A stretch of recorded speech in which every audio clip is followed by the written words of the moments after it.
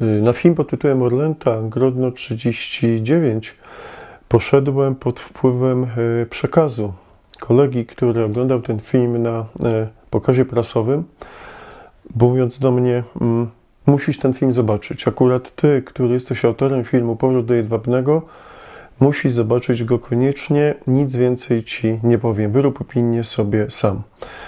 W miniony piątek, w dniu oficjalnej premiery, poszedłem do multikina e, w Galerii Młociny w Warszawie, gdzie wraz z ośmioma innymi widzami, tylu naliczyłem, mm, mogłem obejrzeć obraz dotowany przez e, Polski Instytut Sztuki Filmowej, a więc którego byłem wraz z Państwem sponsorem. Nikt mnie oczywiście o to nie pytał, ale film dotowany z publicznych pieniędzy, a więc e, wszyscy Polacy są jego e, sponsorami.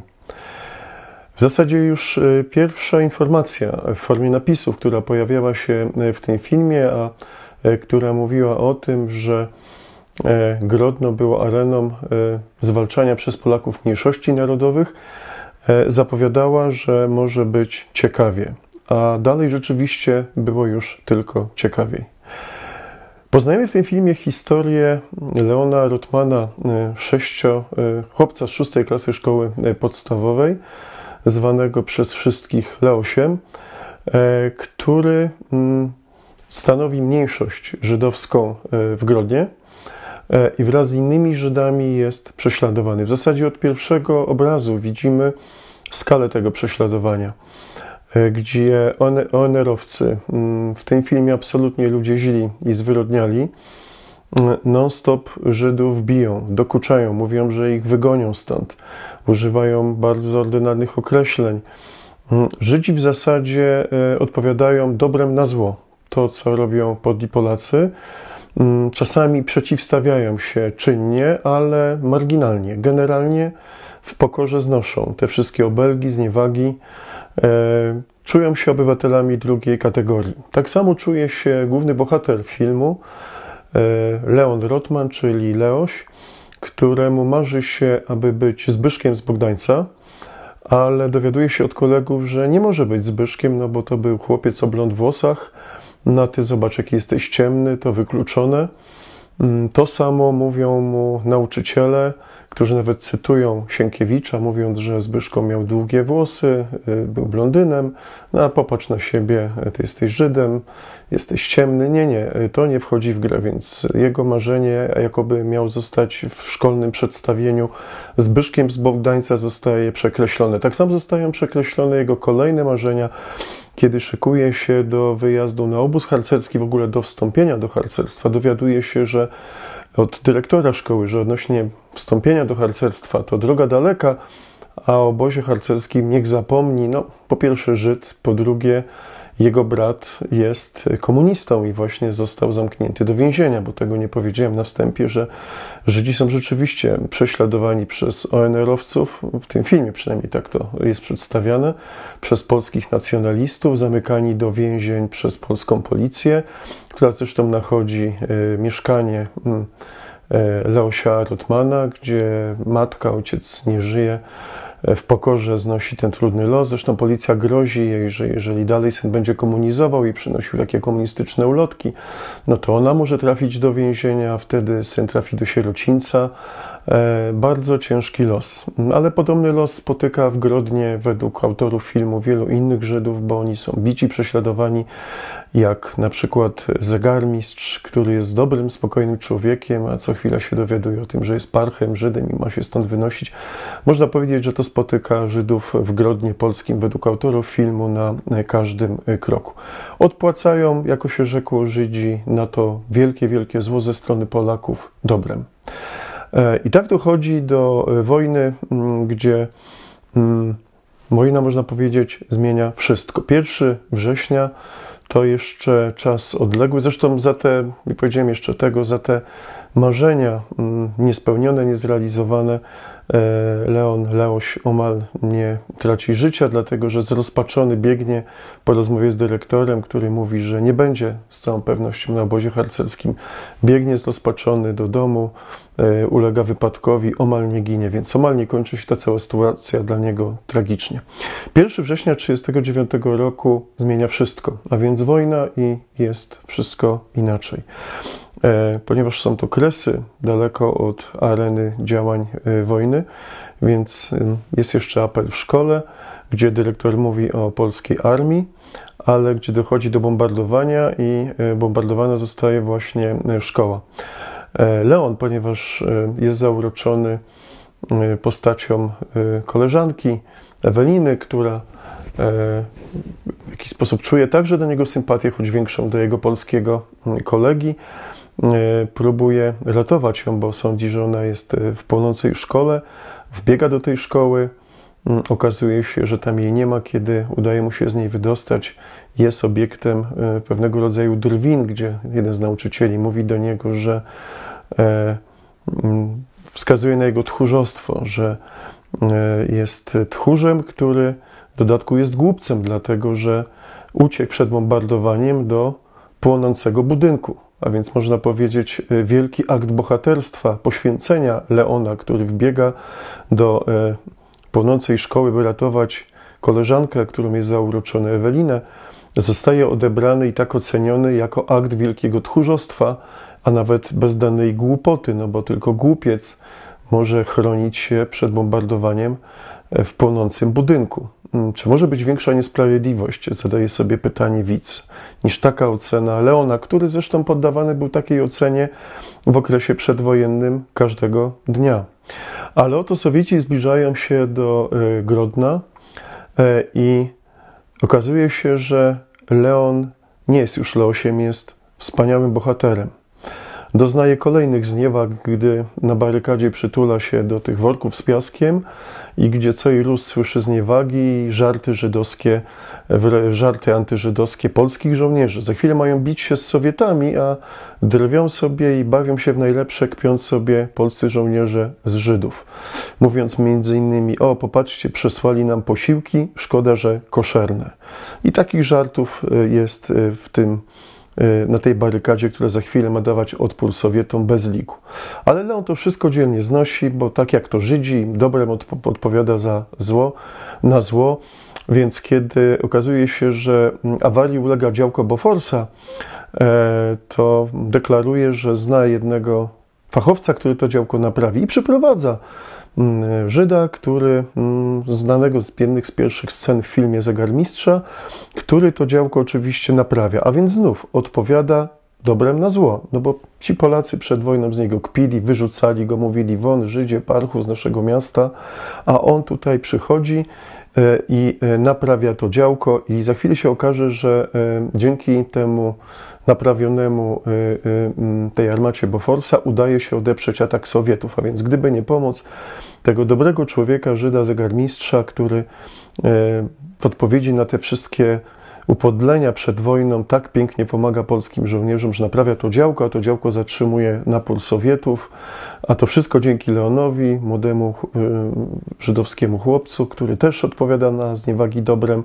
No, można powiedzieć, niesamowita historia, wspaniała historia dobrych ludzi, którzy co i rusz non-stop za, e, na zło odpowiadają e, dobrem.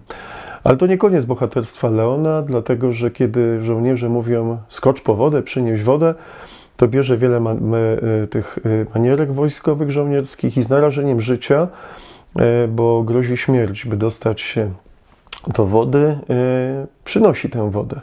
Ale i to nie koniec, dlatego że gdy pada informacja, że e, zbliżają się sowieckie czołgi.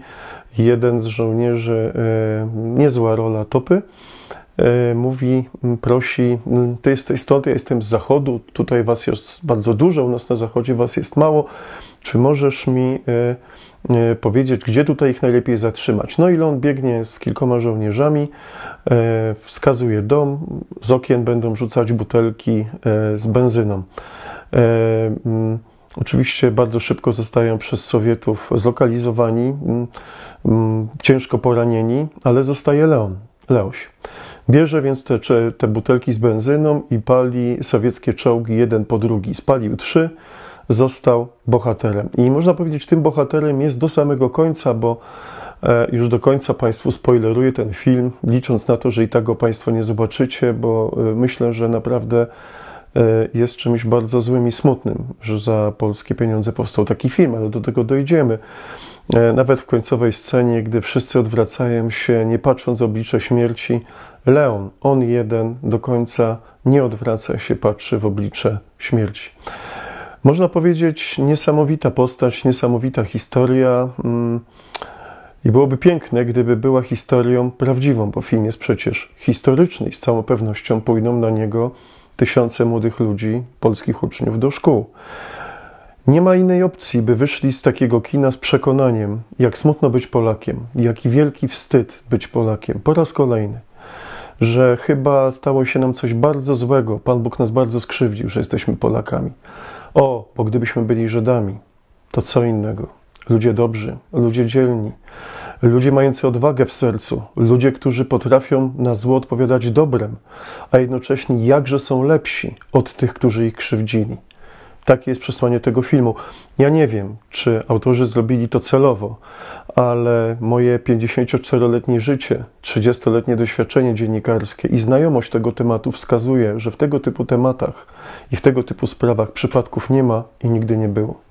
Nie wiem, na co liczą autorzy. Być może na Oscara, być może na inne nagrody. Z całą pewnością się posypią, dlatego że film nie jest tak toporny jak y, bandycki film Smarzowskiego Wesele 2, też dotowany przez Glińskiego z państwa pieniędzy, o którym już tutaj mówiliśmy rok temu. Bandycki, antypolski film, ale strasznie toporny. Tak toporny, że nawet Żydzi nie mogli nieść tej propagandy, no, widząc tą toporność. Jeśli chodzi o obraz y, Orlęta Grodno 39, jest inaczej. To nie jest film toporny, to jest film, y, w którym główne postacie są dobrze narysowane. Postać y, Leosia wzbudza sympatię, Muzyka jest ładna, może nie wybitna, ale z całą pewnością niesie film. E, niezłe sceny batalistyczne. I generalnie jest w tym filmie parę scen, które mogą się e, widzowi podobać. Natomiast przesłanie jest ewidentne. Żydzi Polacy, dobrzy Żydzi. Polacy, którzy są, można powiedzieć, przeciwstawieniem, a w zasadzie Żydzi, którzy są przeciwstawieniem dla Polaków. Dla Polaków gnuśnych, załganych, Y, podłych mm, Polaków, którzy tylko w kupie są silni, bo wielu onerowców rzuca się na jednego małego Leosia. Takie sceny powtarzają się co i róż z nożami. E, tymczasem Żydzi są przeciwieństwem tych Polaków. Są ludźmi dobrymi, szlachetnymi, wybaczającymi, dzielnymi, którzy potrafią oddawać życie za tę Polskę, która ich nienawidzi. Można powiedzieć z takim przekonaniem o Polakach i Polsce, która jest podła, i o dzielnych, dobrych Żydach. Wyjdzie uczeń, który obejrzy ten film. Wyjdzie z kina uczeń, który obejrzy ten film. Proszę Państwa, e, jest to bardzo zły obraz. Bardzo zły obraz, dlatego że jest dużo bardziej niebezpieczny niż Wesele 2, właśnie przez to, że jest e, znacznie mniej toporny. E, nawiązuje do takich emocji, które widz może odczuwać patrząc na postać Leona. I tak jak powiedziałem, wszystko byłoby dobrze, gdyby to było prawdziwe. Zadajmy sobie zatem pytanie, czy taka sytuacja mogła mieć miejsce. Ja nie wiem wszystkiego o wszystkim. Mm, nie jestem człowiekiem, który posiadł wszechwiedzę, więc jak ktoś zadałby pytanie, czy to jest teoretycznie możliwe, że był taki żydowski chłopiec, który prześladowany, bity przez Polaków, y, mm, zachowuje się tak bohatersko i broni tej Polski wbrew innym Żydom, czy to jest rzeczywiście możliwe? Proszę Państwa, teoretycznie wszystko jest możliwe. Tak samo jak teoretycznie jest możliwe, że mały niemiecki chłopiec e, w polsko-niemieckim czy wolnym mieście Gdańsku w 1939 roku e, pomaga obrońcom Poczty Gdańskiej, która jest atakowana przez jego niemieckiego ojca i jego niemieckich kolegów. Ale on integrowany współczuciem dla swoich polskich kolegów pomaga im, mimo że tę pocztę atakuje jego ojciec, jego niemieccy koledzy, a on sam jest Niemcem. Czy taki film jest możliwy? Oczywiście wydaje się to abstrakcyjne, ale Wierzę w to, jestem przekonany, że gdyby, o nie daj Panie Boże, Donald Tusk i reszta tej hołoty wróciła do władzy, to kto wie, czy i takich filmów nie będziemy oglądać. Jest to równie abstrakcyjne, jak to, co obejrzałem na filmie Orlenta, Grodno 39. Bo ten obraz, proszę Państwa, mm, ja nie twierdzę, że nie było wyjątków od reguły. Zawsze są. Natomiast prawdopodobieństwo wystąpienia takiej, takiej sytuacji yy, i takiego bohatera, i takich sytuacji, jakie oglądaliśmy w tym filmie, yy, to jest prawdopodobieństwo, którego trzeba by szukać pod mikroskopem. Tak jest wielkie. Innymi słowy, ktoś tutaj popuścił wodze wielkiej fantazji, ale fantazji bardzo, bardzo szkodliwej i bardzo niebezpiecznej. Uważam, że dużo bardziej niebezpiecznej niż Wesele 2. Dlaczego? Bo opowiedzmy sobie, jak było naprawdę. Opisaliśmy w książce Powrót do Jedwabnego 2, tu jeszcze może, przepraszam, dygresja. Jest w tym filmie Grodno 39, Orlęta Grodno 39, jedna scena, jedna, może dwie sceny, które mm, dają widzowi nadzieję. Takiemu widzowi, który ma wiedzę historyczną i kieruje się logiką i zdrowym rozsądkiem. Dają namiastkę nadziei, niczym światełko w tunelu, że może chociaż w jednym miejscu y, autorzy zachowają się uczciwie. To jest ta scena, w której brat Leona, brat Leosia, komunista, który jakimś cudem opuszcza więzienie, no bo jest wojna, wraca do Grodna i szykuje razem z innymi nieznanymi nam osobami broń. I widzimy, że jest to broń, z której mają strzelać, bo to się później dzieje, do Polaków. Nie do Sowietów, do Polaków. A więc to jest ta scena, która nawiązuje, wydaje się, ma szansę nawiązywać do faktów historycznych, o których zaraz opowiem. Ale to trwa tylko chwilę. I ta nadzieja mija na uczciwość twórców, jak mydlana bańka. Rozpiersza się, pęka jak mydlana bańka można powiedzieć, chwilę po tym, gdy powstaje światełko, które widzimy na końcu tunelu, wydaje się być światełkiem nadziei na uczciwość, okazuje się być światłem lokomotywy, która pędzi na nas wielką siłą. Dlatego, że autorzy bardzo szybko dokonują skrętu i okazuje się, że tak naprawdę ci strzelający polskim żołnierzom w plecy to nie tyle Żydzi, to bardziej dywersanci, komuniści, którzy mówią jeszcze, po, po, posługują się językiem rosyjskim. A więc wszystko to jest tak zagmatwane, zaciemnione, jak w świecie cieni, gdzie autorzy rozumieli, zdawali sobie sprawę, że nie mogą całkowicie pominąć tego wątku, ale jednocześnie pokazali go tak, by był całkowicie niejasny, zamazany, niezrozumiały i by widz miał wrażenie, że to nie tyle Żydzi strzelali polskim żołnierzom w plecy, co jacyś dywersanci, rosyjscy, komuniści, no a tam wśród nich mógł się znaleźć jeden czy drugi Żyd. Ale wszystko to jest zamazane, niejasne. Na pewno nie jest to obraz prawdziwy, o którym za chwilę Państwu opowiem. A więc tak wygląda ten film. Uważam, że jest to jeden z bardziej szkodliwych filmów, właśnie przez to, że nie jest tak toporny, jakie dotyczą relacji polsko-żydowskich, jakie dotyczą prawdy o tym, co Żydzi w 1939 roku robili na Kresach Wschodnich. I mam tylko nadzieję, że wielu nauczycieli, zanim zdecydują się pójść na ten film z uczniami, obejrzy sami, obejrzą sami ten film i wyrobią sobie własną opinię. A jeżeli będzie to opinia oparta o fakty historyczne, to nie mam wątpliwości, że nie zabiorą swoich klas, bo będą wiedzieli, jak podłe ugarstwo, jak antypolski i jak, jak antypolskość, jak prożydowskość przebijają z tego filmu. Proszę Państwa, w książce Powrót do Jedwabnego 2, która jest elementem naszej trylogii Powrót do Jedwabnego, na bazie której powstał film Powrót do Jedwabnego, który dokładnie 17 września ubiegłego roku miał premierę i który został zniszczony przez środowiska żydowskie. Nie pozwolono nam na premierę w kinie Wisła. Każde nasze spotkanie było banowane. Odmawiano nam tych spotkań jednego po drugim, a gdy udało się zorganizować na przykład w Chorzowie, to odzywały się y, syreny alarmowe, jakoby miał powstać na stadionie śląskim pożar i gdy spotkanie trzeba było przerywać. I tak to się wtedy działo. Koniec końców zniszczono nasz kanał. Środowiska prożydowskie i żydowskie poddały nasz film totalnej nagonce i totalnej cenzurze, nawet nie widząc tego filmu, bo nagonka zaczęła się jeszcze przed jego premierą, gdy tylko kilku przyjaciół i zaufane osoby i twórcy widzieli, jak ten film wygląda w całości. Proszę Państwa, książka Powrót do Jedwabnego 2, na bazie której powstała część filmu Powrót do Jedwabnego, nawiązuje także do tych wydarzeń z Kresów z 1939 roku i także do tych z Grodna, gdzie razem z Tomkiem Budzyńskim, który jak Państwo wiecie jest byłym szefem delegatury ABW w Lublinie, ale który jest także z wykształcenia historykiem, docieraliśmy przez wiele tygodni, a nawet miesięcy do zapomnianych archiweł, archiwów, do zakurzonych y, różnych y, dokumentów, pamiętników, wspomnień, do kronik parafialnych, gdzie dotarliśmy do wielu wciąż jeszcze żyjących świadków. To było, mm, tych może nie było wielu, bo było ich mniej niż dziesięciu, ale docieraliśmy do pamiętników wielu innych osób, które już dziś ich z nami nie ma, ale zostawiły swoje przesłanie, swój przekaz w formie pisemnej do wielu kronik, do wielu dokumentów, do zapomnianych archiwów. I z tych wszystkich przesłań e, zawarliśmy jeden potężny rozdział w książce Powrót do Jedwabnego 2, który pokazuje, jak to wyglądało naprawdę.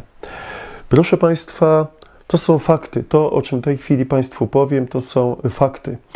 30, 17 września 1939 roku, jak wszyscy Państwo wiecie, w myśl paktu Ribbentrop-Mołotow Sowieci przypuszczają atak na e, Polskę. W zasadzie nie mamy żadnych szans, dlatego że 500 tysięcy wojsk sowieckich, a Polska wtedy krwawi walczy na zachodzie, na północy, na południu, walczy z wojskami niemieckimi i także, o czym wielu nie pamięta, słowackimi. Jesteśmy sami, zostawieni przez sojuszników. Polska krwawi, Polska umiera, pozostawiona sama sobie przeciwko największej ówczesnej potędze. I właśnie wtedy, 17 września, na tą, w, tym, na, w tamtym terenie już w zasadzie bezbronną Polskę, bo zostali głównie rezerwiści, przypa, przypada potężne uderzenie e, dwóch frontów e, sowieckich, e, białoruskiego, ukraińskiego, 500 tysięcy ludzi, tysiące wozów bojowych.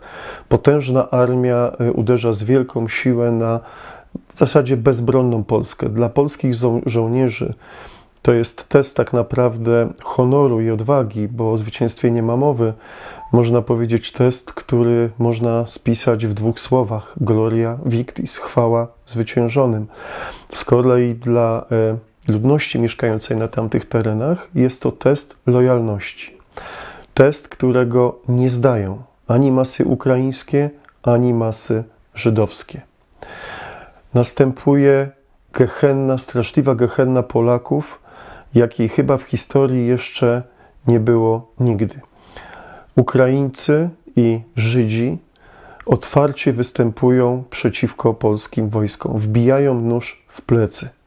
Tysiące bojówkarzy strzela polskim żołnierzom w plecy. Ułan Sawicki. Żydzi, teraz przejdę do Ułana Sawickiego, Żydzi prowadzą te nie tylko strzelają polskim żołnierzom w plecy, ale także są przewodnikami dla sowieckich armii. E, idą na czele tych wielkich zagonów pancernych i zagonów piechoty, prowadzą, bo znają teren, są miejscowymi.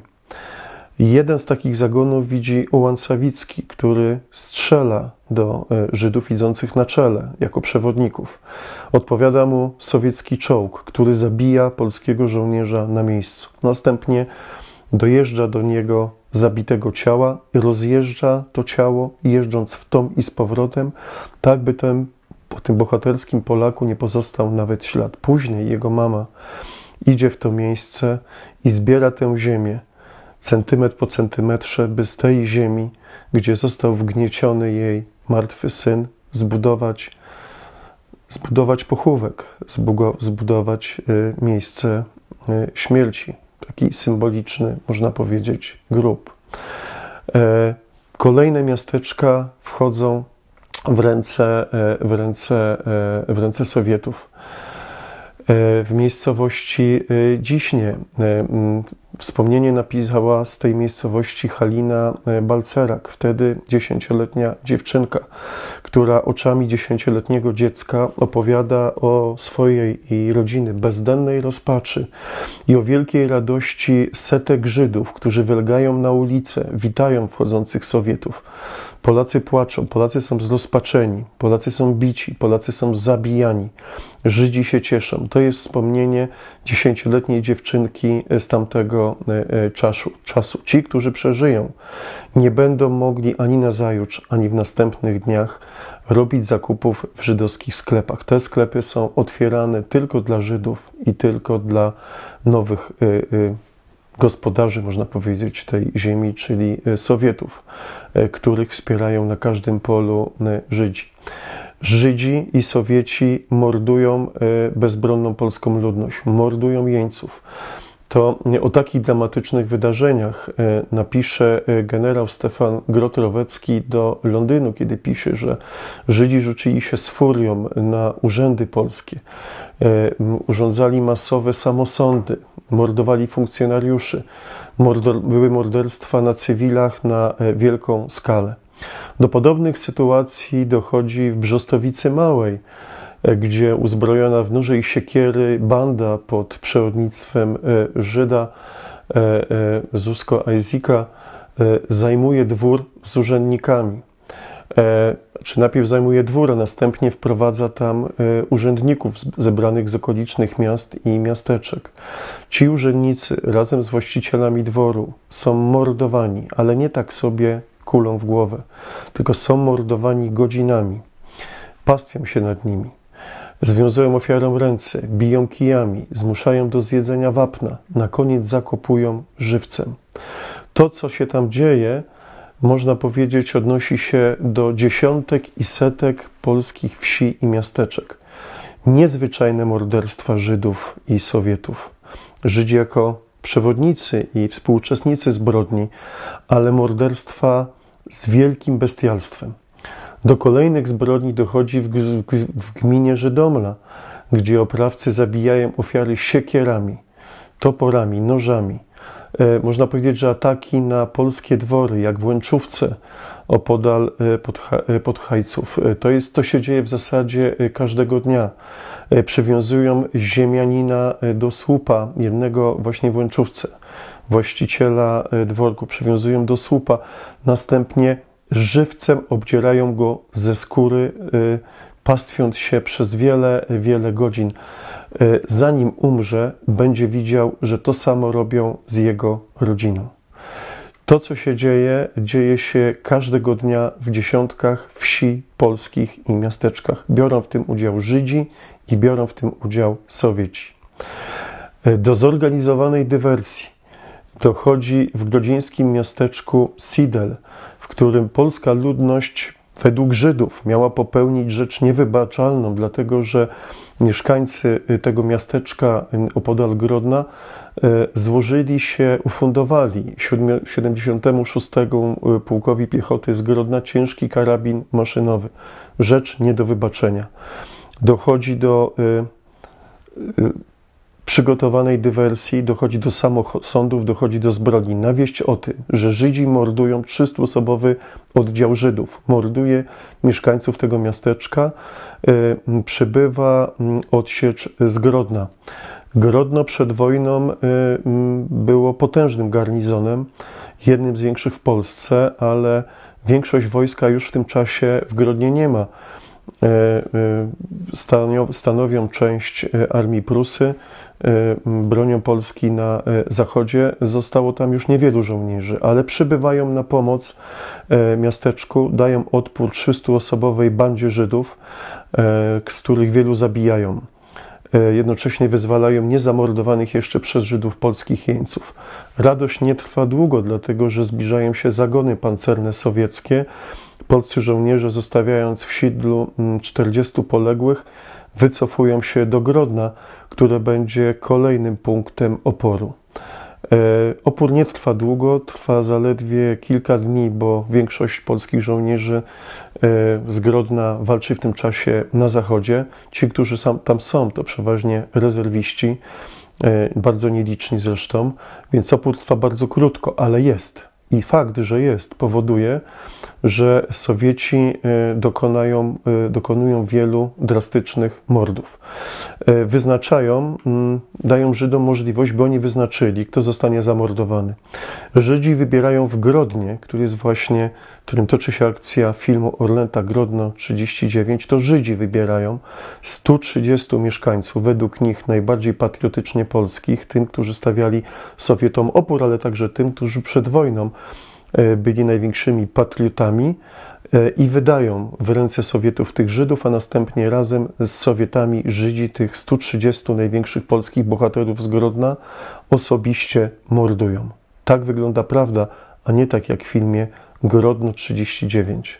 Zupełnie odwrócono e, e, sprawy, e, postawiono sprawy na głowie.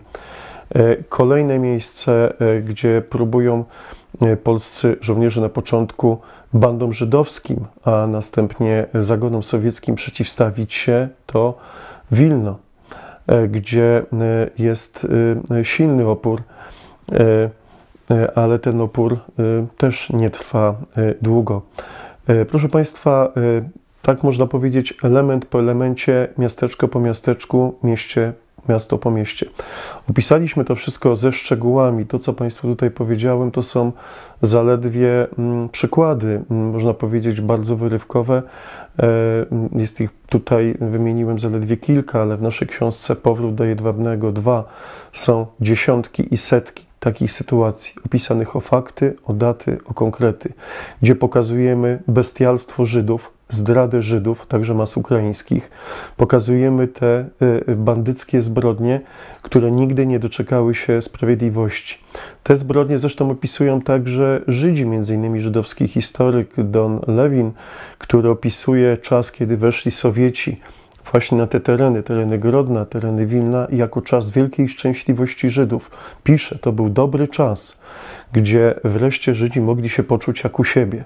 Tak opisuje to żydowski historyk, a jednocześnie mamy pamiętniki, wspomnienia pokazujemy autorów w książce Powrót Jedwabnego 2 z imienia i nazwiska, którzy piszą o bezdennej rozpaczy Polaków, którzy mordowani, bici, zabijani każdego dnia, prześladowani przez masy żydowskie i wojska sowieckie. Proszę Państwa, odnieście teraz to Państwo zainteresowanych, no niestety muszę odesłać, ramy tego programu nie pozwalają, abym opowiedział o wszystkich przykładach zbrodni sowieckich i zbrodni przede wszystkim żydowskich, bo od nich się to wszystko zaczęło e, na terenach wschodnich w 1939 roku. Bym opowiedział o tym w ramach tego jednego programu, więc zainteresowanych muszę odesłać do książki Powrót do Jedwabnego 2. E, proszę Państwa, jak się bronić przed tym, kłamstwem, potężnym kłamstwem. Jest to obrona beznadziejna, rozpaczliwie beznadziejna, dlatego że, mm, bo Żydzi mają rząd dusz nad światem, bo mają pieniądze, bo mają władzę, bo y, nasz rząd, wszystkie nasze rządy, także ten obecny rząd, to rządy prożydowskie, które z takich czy innych powodów sprzyjają takiej narracji albo z tchórzostwa, albo z gnuśności, albo z innych jeszcze gorszych powodów, bo y, tak naprawdę y, Instytut Pamięci Narodowej nie zajmie się takimi sprawami, bo się po prostu też boją w ogóle zbliżać do takich tematów, bo Fundacja Narodowa chętnie kupi jacht, którym pływa po świecie, ale nie zrobiła ani jednego filmu, a mogłaby zrobić dziesiątki filmów, które by pokazywały prawdę, jak to naprawdę wyglądało. Nie, bo, nie zrobią, nie zrobili przez te wszystkie lata. Boją się. Albo jest jeszcze gorzej, że to nie tylko strach, ale coś jeszcze znacznie gorszego. My zrobiliśmy film za pieniądze od państwa, za skromniutki budżet, film na trzech kontynentach, za 400 tysięcy złotych, do którego dołożyliśmy, nie zarabiając ani grosza. Powrót do Jedwabnego, który natychmiast został zniszczony, zbanowany. Wyprodukowaliśmy własnym sumptem kilkadziesiąt tysięcy płyt, które rozdawaliśmy do filmu, dopóki mieliśmy te płyty, prosząc, one miały napis kopiuj, podaj dalej, prosząc, by ta prawda się rozchodziła. To wszystko zawaliśmy w tym filmie, zawaliśmy w książce Powrót do Jedwabnego 2, ze wszystkimi szczegółami, o których tu nie zdążyłem opowiedzieć, bo nie było takich możliwości. Proszę Państwa, mm, jak się przed tym bronić? Jest to bardzo trudna walka, bardzo nierówna walka, bo wróg jest z zewnątrz i tchórze sprzyjający wrogowi są także wewnątrz. Dotują takie filmy. Gliński jest w tym rzeczywiście, no, to jest człowiek, który wierzy w to głęboko, piekło przed nim. Za dotowanie Wesela 2, za dotowanie takiego filmu, za dotowanie innych żydowskich obrazów, które kłamią, które przypisują nam najgorsze cechy, a Żydom najlepsze Ale taką mamy, proszę Państwa, rzeczywistość, gdy bardzo trudno się przed tym bronić. Co my zatem możemy bronić, zrobić? Oczywiście możliwości mamy bardzo niewielkie, ale to nie znaczy, że należy nic nie robić, że należy milczeć. Wprost przeciwnie. Ja nie bez kozery wziąłem sobie mm, do serca hasło Nigdy się nie poddawaj, które mi przyświeca. E, nigdy się nie poddawaj. Nie poddawaj się nigdy, bo e, zawsze może zdarzyć się wszystko. Innymi słowy, nie wiemy, co zdarzy się jutro. Pan Bóg nad nami, ale my po swojemu, tak po ludzku, musimy robić to, co do nas należy. Tyle, ile każdy może, tyle, ile każdy potrafi. Ja pod wpływem tego filmu, który obejrzałem w piątek, a dziś mamy niedzielę, kiedy nagrywam ten program, e, zdecydowałem się, by przez cały wrzesień do każdego zamówienia, jakie Państwo złożycie na naszym sklepie, absolutnie do każdego, dodawać w formie prezentu darmo książkę pod tytułem Powrót do Jedwabnego 2, gdzie jest opis wszystkich tych historii, o których tutaj Państwu opowiedziałem. Ktoś, kto nie zrobi zapewne nic, powie bardzo mało, jakie to ma znaczenie. Ktoś inny, ktoś może cyniczny albo złośliwy, powie pewnie oddaje, bo mu zalega. Otóż nie zalega, jest dokładnie odwrotnie. Uważamy, że my powinniśmy zrobić to, co do nas należy, by ta prawda do Państwa docierała, by ten film Powrót do Jedwabnego i książka Powrót do Jedwabnego 2, gdzie jest opis wszystkich tych strasznych rzeczy, które działy się w Grodnie i w innych miastach, miasteczkach i wsiach na, e, we wschodniej Polsce w dobie zdrady żydowskiej i agresji sowieckiej, by to docierało do Państwa. Dlatego powtórzę, każde zamówienie we wrześniu, które Państwo złożycie w naszym sklepie, my do niego dołożymy w formie prezentu gratis książkę pod tytułem Powrót do Jedwabnego 2. Uważamy, że tyle możemy zrobić. Być może to mało, ale uważamy, że tyle możemy zrobić, prosząc, abyście Państwo po przeczytaniu podawali tę książkę dalej, by ona docierała do ludzi. E, wierzę, że każdy coś może zrobić. My możemy zrobić tyle. Państwo możecie polecać ten program, możecie też zainteresować innych prawdziwą historią. Możecie tym, którzy wybierają się na film Grodno, 39 powiedzieć: Zastanów się, a może zanim pójdziesz, bo to Twoja wola, zapoznaj się z faktami historycznymi. Możecie powiedzieć nauczycielowi: Ja nie chcę, aby mój syn czy moja córka oglądał ten film, jeżeli dowiecie się, że szkoła wybiera się na ten film. Możecie Państwo też. E, rozmawiać z innymi ludźmi, e, którzy są historykami, tak jak Tomek Budzyński, którzy powiedzą Wam prawdę, czyli to, co ja tutaj Państwu mówię, a to, co w szczegółach napisaliśmy w książce Powrót do Jedwabnego 2. Z całą pewnością coś robić musimy, musimy się temu przeciwstawiać, bo jednego Państwo możecie być pewni – że jeżeli nie my będziemy bronić naszej przeszłości, która niestety ma tendencję do powtarzania się i która niestety nie ma końca w naszej teraźniejszości, to nikt tego za nas nie zrobi. A te wszystkie kłamstwa żydowskie służą temu, by zbudować tutaj podwalinę, to o czym my tutaj mówimy, pod przyszłe Polin, które oni sobie tutaj wymarzyli. Musimy się temu przeciwstawić. Jak? Po prostu prawdą.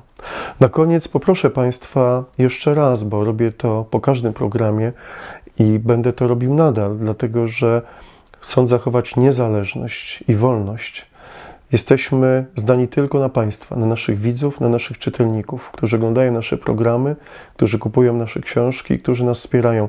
Tak długo, jak będziemy widzieć, że państwo, do Państwa docieramy, że te książki do Państwa docierają, że te filmy są oglądane, że Państwo nas wspieracie, że możemy realizować kolejne filmy czy prace takie jak Powrót do Jedwabnego, czy w mniejszej skali jakieś reportaże, tak długo będziemy to robić, bo bez Państwa tak naprawdę nie znaczymy nic. Nie sięgamy po grosz publiczny, unikamy go, bo tak się kupuje niewolników. My chcemy być zależni tylko od widzów i czytelników i dlatego jak zawsze na koniec poproszę Państwa o wsparcie tych, którzy uznają, że mogą i uważają, że warto nas wesprzeć w tym dziele, które tworzymy, a dążymy do tego, by zbudować portal, gdy znikniemy stąd, tak jak już raz zniknęliśmy po filmie Powrót do Jedwabnego i gdy tak naprawdę zbanują nas już wszędzie, zostanie choćby ten portal, miejsce, gdzie Państwo znajdziecie nasze informacje o naszych najnowszych książkach, o naszych filmach, reportażach, audiobookach, gdy będziemy mogli do Państwa docierać z przekazem czy z przesłaniem, tak jak to robimy tutaj, gdzie jeszcze jesteśmy. Po zbanowaniu naszego kanału powstał ten powolutku się odtwarza, ale nie mamy złudzeń, że dziś jesteśmy, jutro możemy nie być, podobnie jak w innych miejscach. Musimy mieć ten portal, by przetrwać. Bez Państwa nie przetrwamy. Jeśli ktoś uzna, że może i warto nas wesprzeć, pokornie o to prosimy. Na naszej stronie sumniski.pl jest informacja o zrzutce, gdzie możecie się Państwo dowiedzieć, jak nas wesprzeć, jeśli ktoś może i uznaje, że warto. Dziękując Państwu za kolejne dzisiejsze spotkanie. Do zobaczenia niebawem. Z Panem Bogiem.